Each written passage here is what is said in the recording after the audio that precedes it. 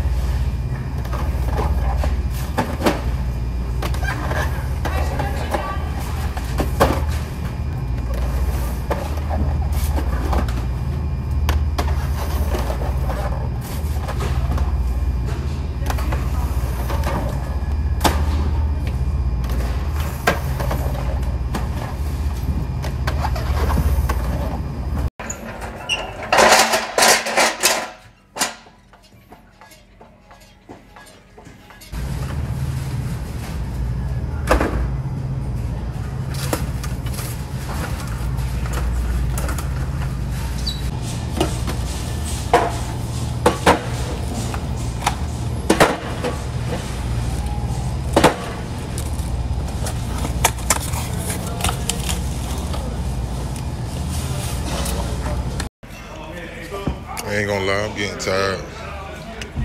I got four pallets left to do though, so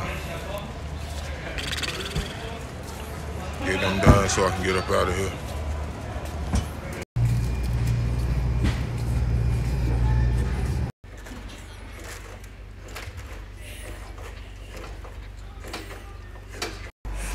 Boy, I need a good full body massage. Nothing, nothing but some food. Food and massages all the rest of the day.